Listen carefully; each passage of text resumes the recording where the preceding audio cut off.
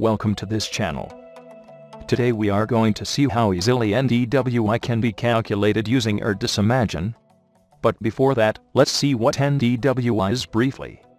Normalized Difference Water Index, NDWI, is a moisture-related index of satellite-derived index that makes use of near-infrared, NIR, and short-wave infrared, SWIR, bands, to detect changes in water content and spongy mesophyll in vegetation canopies.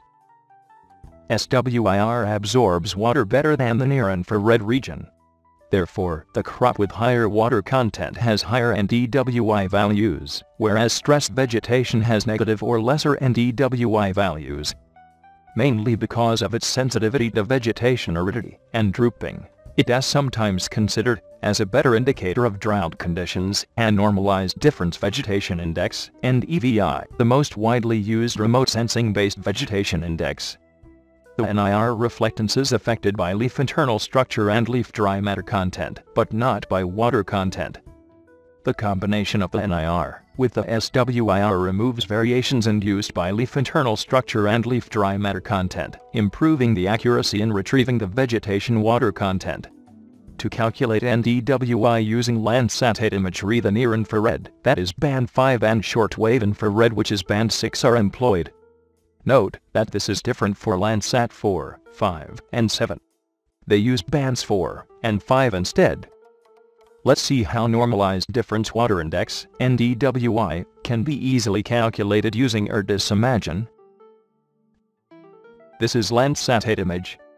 The image used here is found in the north-central Ethiopia, around North Shoa area. The first seven bands are combined, as composite using ArcGIS, we might see that in another video. What we need to do now is opening Spatial Model Editor in Toolbox tab. Then opening an existing model made for NDVI by the software producer, then modifying it to what we want. That is NDWI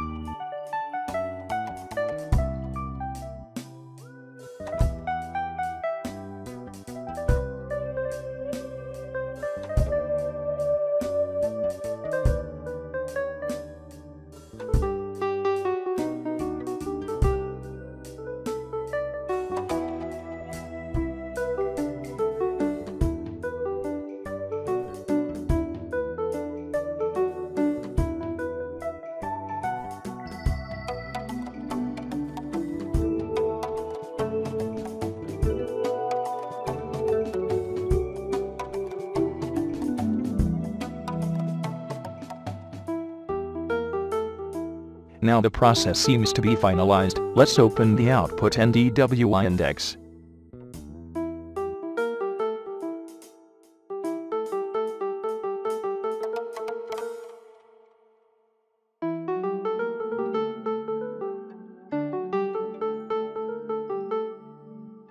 For a better visualization, let's open it using ArcGIS Go to Properties and change the color to your convenience in the Symbology tab.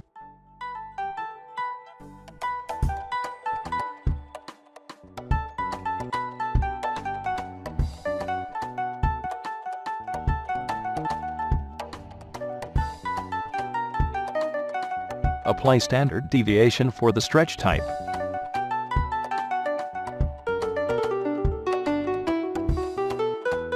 These areas seem to have a better vegetation cover, with considerable water content in their canopies. Let's see to the other parts of the image. These areas are assumed to be in a water stress, and possibly more drought affected. Now we came to the ending of our today's video. If you have comments, please share below the video, and recommend videos you want to be posted. Thank you for watching. Please subscribe to this channel to let us reach more people. Bye for now.